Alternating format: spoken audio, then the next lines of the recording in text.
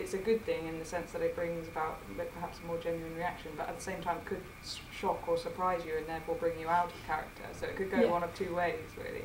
Like with the fall in the um, Waterman scene, um, I wasn't expecting that, so we sort of almost went down to help Beth um, before really realising it was part of the scene.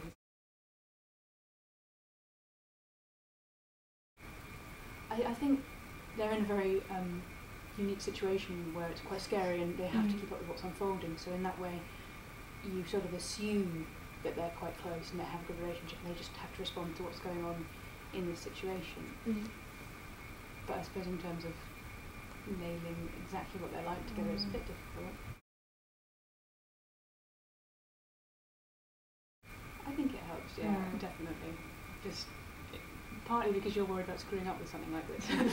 Yeah. It's quite relaxed. Yeah, I feel relaxed with the people here, Mm. um, which is nice. You know, it doesn't matter if you're not comfortable.